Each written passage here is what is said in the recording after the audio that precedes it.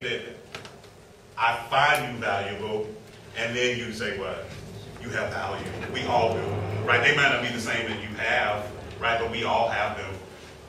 Expressive individualism. What does that mean? Something that sets you apart from everybody else. Mm, even when we do crazy stuff like make students wear uniforms, because you know when everybody wears uniforms, they all behave. That's not true right? And we're trying to stagnate them, right? But you always have the one that's going to do what? Girls do it well if they have, particularly in elementary school, if they wear uniforms, what do they start doing? Put all kinds of stuff in the Oh, yeah. Scarves. Like my daughter, when we were wearing uniforms, she's like, oh, can I get a different stripe colored tights? Because there has to be some, what, individualism here, right? So you're going to start doing it. Again, I was working in some, you know, some very hard to staff schools. Then when you start doing it and we think that it's going to cut down on gang behavior, they still do crazy stuff. Like if you point your tennis shoe, the top of your string this way, it's like, oh my God, right? But that expressive individual has to be there. Oral tradition. And again, when we're talking about tribal people, oral, meaning what? It's a lot of talking, right? And not one person, not a dialogue, but what? Not a monologue, but what? A dialogue, right? Most of the stories, particularly when you're talking about that little boy in that picture, look at the communication, oral. It's like, oh my goodness, the stories, the engagement. Most little kids love when you do what? Just storytelling, right? You can put it, and if you're expressive, right? Oh, the children, oh my God, and they see it, right? By fourth or fifth grade, we stop to open the book, Turn to page 12, read it yourself. Right? And then we say stuff like what? Don't talk, right? Because if I'm reading something and I really like it, ultimately I want to say what? Did you read this? Are you on page 12? Right? Stop it, right? You don't do it. And social time. What else do we have to do other than socialize? In middle school, middle grades, right? Middle school is not about learning. It's about socialization, right? It's ultimately, this is where I learned through what? Socialization. Everything, I was a middle school principal for nine years. I learned more in those nine years than I think I've learned in, throughout doctorate, anything. Because it's like, okay, you're talking about hormones, you're talking about insecurities. This is the time where I have to do what? All of my classes had to be what? Social. Social. Now, what does that say? All of my AAP teachers, I'm like, oh, why don't you start?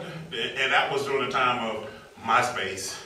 MySpace kept up so much mess at the school, the drama, right? It was like they start bullying each other, but you know why? It's because every other institution has embraced technology except for education. We want to say they can't bring their phones, they can't do that. Mm, why not? Right? I got one teacher to commit to. I was like, okay, let's use the technology. Let them use their phones in this class, right? What are they going to use the phones for? They're going to use it to what? Text, right? So this is what we do. We started with Romeo and Juliet, right? You read the story? Tell me about it. Tell me the premise. I haven't read. Beauty. Oh my goodness. Romeo and Juliet, yes. Uh, basically, uh, two families that hate each other, and the two lovers kill themselves at the end. They hate each other because what? One, they're from the different sides of the tracks, right? Uh, okay, if you, when you get old enough and you have a daughter and you come to a certain level, you was like, I don't want her with him, right? He's not of the right caliber, okay? Right? So you have to break it down, right? So anyway, we go through this whole thing and we start with the opening, right? Ah, what light through yonder window breaks. Mr. Allen, did you read the story? You don't remember. Ah, what light through yonder window breaks. Mr. Poe, you remember what that was? In the scene? It's my fair Juliet the light, and my fair Juliet. Okay, but let's break down that whole scene. The party was broken up, right? He wasn't supposed to be there. The dad found out he was there, and what? Chaos ensued. He doubles back and he finds out what? Where she is, right? In her bedroom. Watch, plot thickens. So undoubtedly, in this big castle, he knew where her bedroom was, right? So he may have been there before, right? However, she comes out, and what do we see? Ah, what light through yonder window breaks. What was he saying, Mr. Allen? In layman's term. Woo! Look at that. Woo! Up in that window. In the light. The silhouette, right? Mr. Hollis, the silhouette. Anytime Beyonce comes out, before she comes out, what do you see? right? Ah, what light through yonder window breaks. That's what it is, right? And then Thank when God she- that was just captured on video. Let's be sure we send that out on the hashtag. right. Oh, yeah, And then what just happens? Then she comes out and she says, Oh, Romeo, Romeo, what? Wherefore art thou Romeo? Deny thy father and what? Refuse thy name. Oh, who cares if you're a Jackson and I'm a Johnson? Right? And then she says, what? A rose by any other name would what? Smell as sweet. It doesn't matter. You could be a daffodil. I just want you. Right? Forget everybody. Deny thy father. Just forget that and let's be together, boo. Right? So we take this whole idea, right? And now I'm going to engage you more. I'm going to say what? You are Juliet and you are Romeo. Text her. Hashtag. What would be your hashtag? Oh, All right, you're Juliet. Right, we're going to take the characters. Hashtag, you're Juliet, you're Romeo. Hashtag what? Hashtag meet me. Oh, stop. Yes. Yes. And my hashtag, Yes. Romeo. I will be there for you. Boom. All right. Now, look at how we're dissecting this. Now, Miss Coles, you are the mother to Juliet. Hashtag. She better not. Boom. Hashtag better not. Friar. Oh, yeah. The friar. What did he do? He accommodated and did this happened and gave advice. He gave advice, and ultimately, what happened with this advice? Hashtag. Yep. Maybe we can work this out. So is that what we're gonna do? Oh, We've collaborated. Okay, so hashtag maybe we could work this out. Maybe we could work this out. All right. So if I then start again engaging them in this social perspective, right? Because now I'm connecting to where you are, right? But I'm also now making you get into the idea of the character because it could be hashtag mm, it's poison, right? So again, you're, you're making them dissect it, and the whole idea, okay, it's oral, right? It wasn't just here, right? So again, these type of interactions occur in the barbershop because again, I could take this whole story because a lot of times, particularly in that, and you, the reason why you don't remember is because of the way it was taught to you. It's like, oh, right? These and thou never really want to hear it, right? But somebody had to break the thing down. It's like, oh, it's the same story. You like somebody from the side of the track, or daddy don't want you to come there. Boom. Where's that story? West Side Story, right? So then I start making you see the other perspective. West Side Story. What other story? Hmm. The outsiders. The Outsiders, right? So again, look at now. What is going on right now? There's co-narration, right? So in a class, we don't like co-narration. It's like this builds on this one. Then when you start hashtagging, look, well, he didn't ask me my hashtag. Yes, ma'am. What was your hashtag? And who was your character? I was with Jamila and Juliet's mom going, better not. Better not. And I was like, she's not good enough for my son. Okay. Oh, hashtag. What's wrong with my son? Boom. Okay, you see what I'm saying? So how do you then get into the mind of the other person? And again, in a barbershop or a beauty shop, that makes you have to then negotiate, right? Because in a barbershop, particularly, the person that is the loudest or the longest might not be the right, right? But then somebody said, hmm, I don't really think that's true. What? So again, if you negotiate, right? Because now I need to see what, hmm, there's something else. I didn't even think about that because she said, well, what's wrong with my son? Right? Hashtag, woo, we don't want to be connected to you. Right? Same thing. So that social time. So how do we build that in, particularly for middle schoolers? It has to be there. And we have to engage where they are. Right? Now, I didn't say particularly young men, but you have to be very cognizant of how you engage in those social networks. right? But you need to make them your friend. How do we befriend those social networks, right? Because they, we could have even set up a Twitter or a Facebook, but you have to do it in what what is those what are those things called? The um, avatar, right? And your avatar can only be the characters from the story, right? Hmm, right? All of that, the social and the learning is still occurring, right? Because now I'm going to have to read up to see what we didn't even talk about. Who? Uh, Marcelio, Marcelo. yeah. Marcelo. Who was he? Um, I think he was one of the cousins of The cousin of who? Juliet or uh, Romeo. Romeo's cousin. Let's have a hashtag for him. Uh, hashtag, bro, where you where you at? What are you doing? What are you Who you doing? It could be uh, one thing that we never really got into his mindset, but he could have been jealous too. It's like he may have wanted Julia himself, right? He may have been in with the friar, did- double up with that poison, like that one. You never know, right? So then, how do you dissect that? Now, one of the things we really wanted to look at the structural comparisons of the barbershop and school. At the barbershop, you have hearty, hearty greetings. The barber is familiar with the regular customers, right? Let's look at that as, against the conventions of a school. Students are encouraged to do what? Most of the day. Be quiet. Be quiet. Right? Look at how we do, particularly again in a middle school. We start duty about 6:55, right? At 6:55, there are people flanked all over the building, right? As soon as they get off the bus, Miss you know what people say? Be quiet. Go straight to the cafeteria. No talking. But right, then we get into the cafeteria, and then what? We do crazy stuff. Quiet time.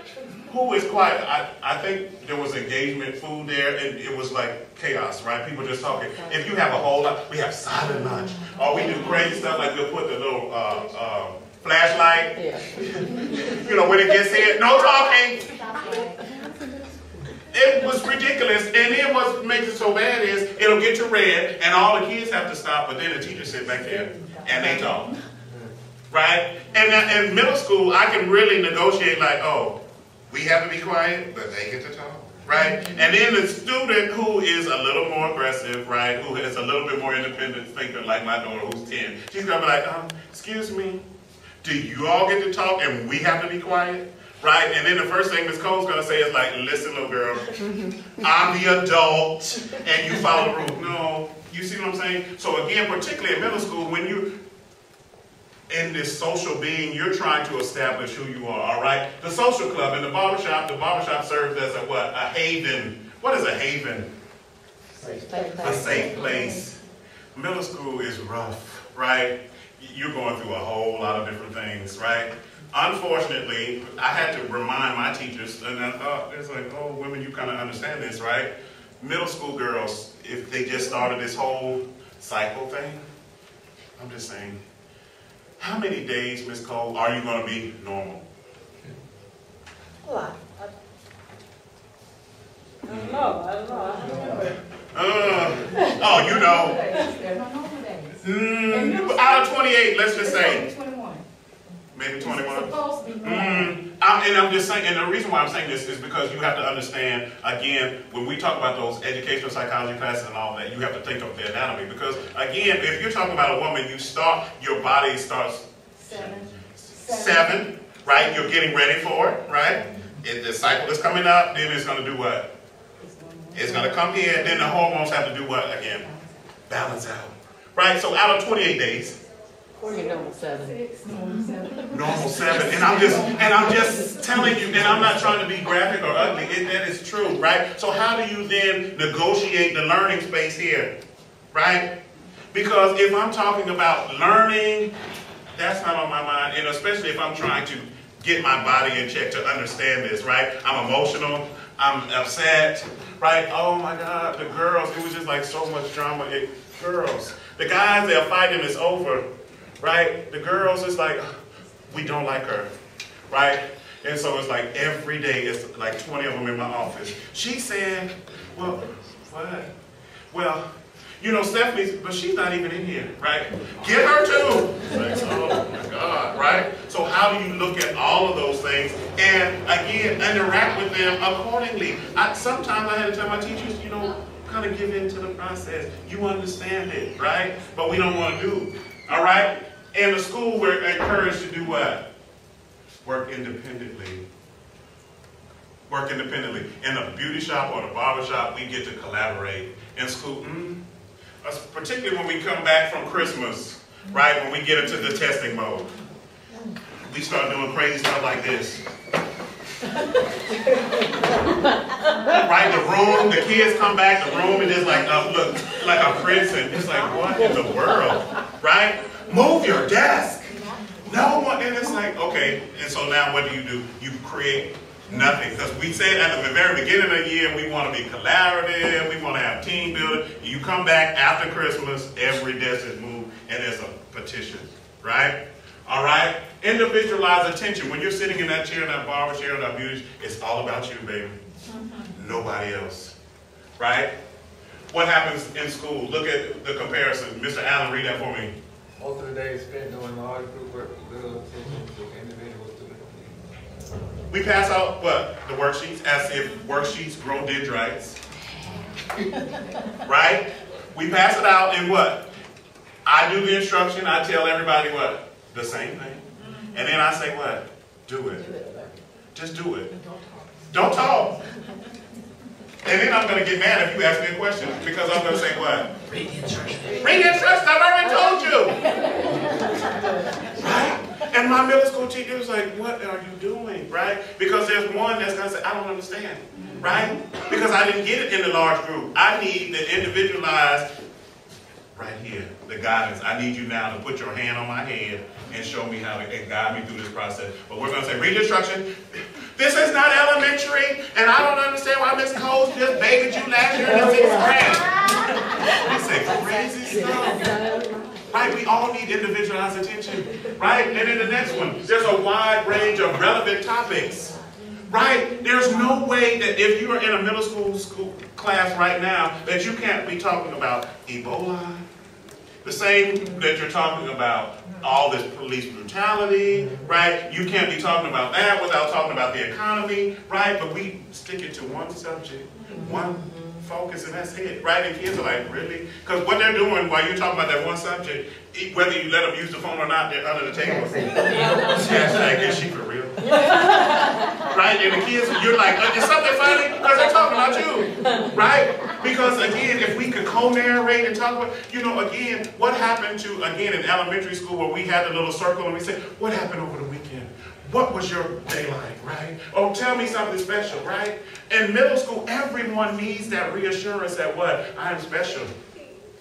That my hairstyle, no matter how crazy it looks, because I messed it up and fell asleep with gum in my hair, and I had to cut a plug, that's how I started growing a box, because it was like messed up, right? And there has to be the teacher like, oh, that's really nice. Right? You have to give them the courage, short, tall, fat, small, whatever, right? And that is in the middle schools where we find that place of socialization. We have to be comfortable in stepping outside the box, right? But we don't, because everyone wants to be an individual, but everyone wants to be the same middle school.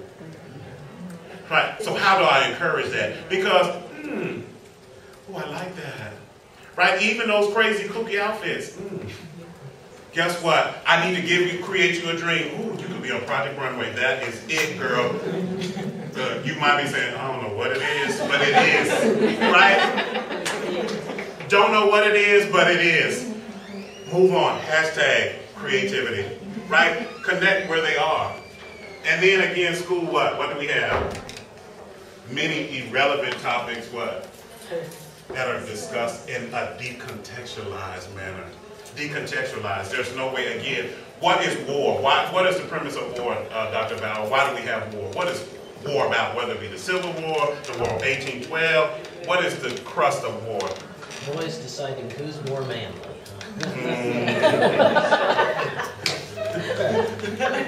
Mm, I did that just for you, Doctor. Say yeah. Yeah, what did you say? Power and control. And if, I, I just said the same thing. Excuse me. decontextualized, right? It's economics. It's about money, right? And money is power, right? So yeah, he wanted to do that to banter with me. But that's what happens. Again, how do you banter? Well, right? But in that same idea, how do you not say that to students. It's about money. It's about power. It's not about anything else other than who is going to be in power, and the power is controlled by money. All right. So again, looking at all of those things, um, I wanted to definitely go on this before it's time to go. The barbershop practices that may influence achievement in the classroom. All right. Allow African American males to what? Express what? Opinions. Out of opinions comes what? Eh, what? Ideas. Fact, can opinions turn into facts? Yes. yes. They can, right? A fact, you have to then test it to make it a theory. And then how do we then change a paradigm, right? Next thing, relevant material to what? Real world experiences. Those young men that I had went from low achievement, because I had them from third grade to the fifth grade, right? By the middle of the midterm year of their third grade year, everyone in my class, whether they were in accelerated learning or resource, was performing at 80% or higher on all of our state benchmarks, right? So then what happens is people then start coming in my class from the district office and other places assuming or trying to figure out the phenomenon. And so when I when they come in, it's like, oh, what seems to be the problem, right? Why are you just walking around here? So it's like, did you not think that they could do it, or do you think that I'm not doing it, right? So there has to be some idea that I'm what inflating their grades. It was you know real crazy. Our uh, CRC uh, T person was you know is like the middle. Uh, management person that you know goes to the class and she's like, oh, and let's be careful that we don't inflate grades. This was like during a faculty meeting. I was like, what? You're talking to me, right? We're not influencing or we're not inflating any grades. If you come to a shop, right? When you come, you come with a bad hair day, and what is the most important about leaving the beauty shop or the barber shop? You look with a good hair being day. transformed, right? So every day that they come in here, I'm working on heads, right? So that means they came in here a bad hair day, but everyone leaves looking sharp, right? At a barbershop, one thing about it, Miss Williams, when I really go to the barbershop, I didn't get to go for coming, I was trying. Ran out of time yesterday. But when you get that hair done, or that barber puts that razor on that thing and make it, you look, you look in that mirror like this. Yeah. right? So you keep walking. Bro, now, the way you walked in is not the way you walk out. Because look, when you really get that hair, that buttermilk whip, you walk out like, see y'all later, ta-ta, right? When those young men are transformed with that button, it's like, we'll see you later. I'll be back. Good looking out, right? It changes. So in that same sense, if students enter your class, right, with a bad hair day, a bad hair day is okay, but a bad hair year, somebody gotta go.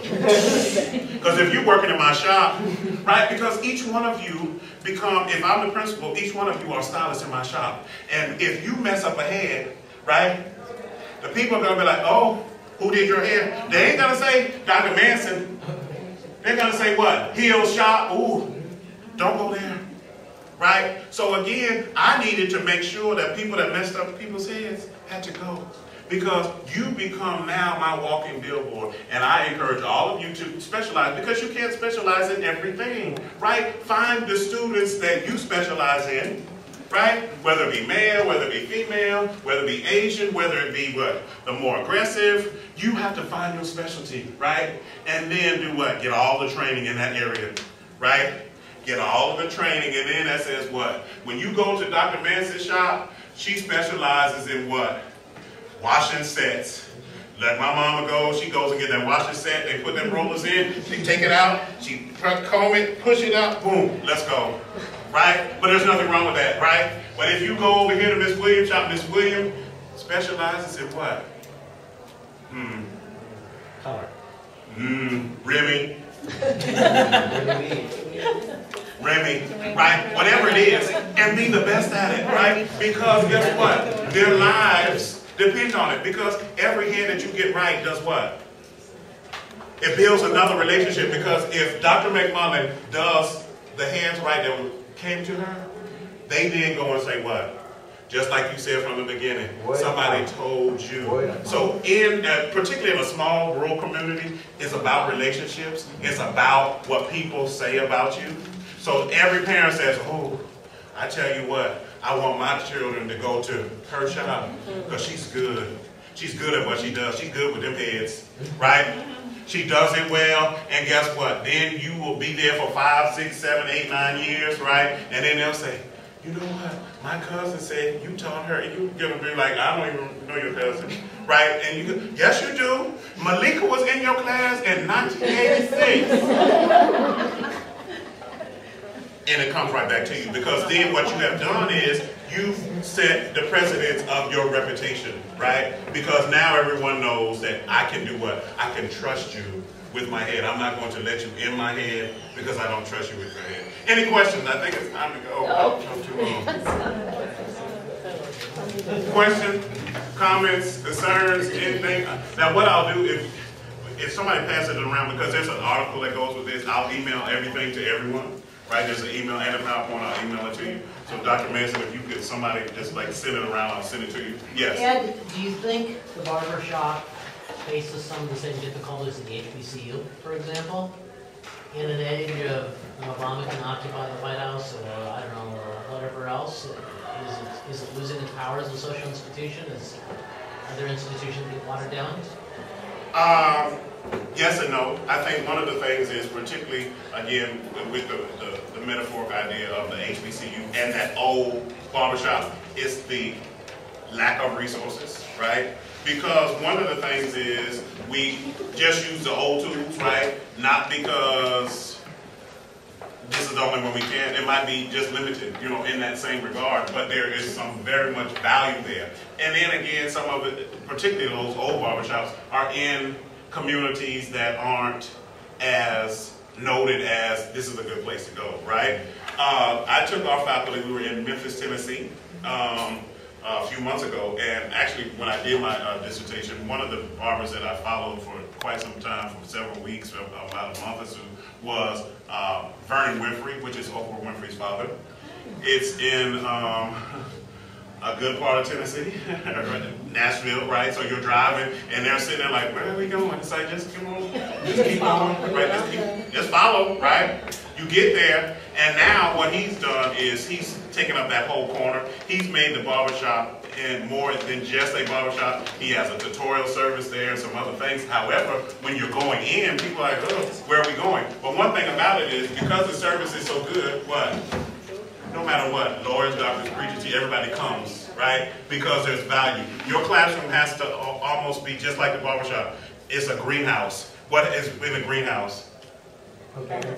Everything that you need, right? Everything that that flower needs to grow and live and survive and thrive is in that greenhouse, right? Let's go, because the next person is at the door. Thank you so much. Thank you.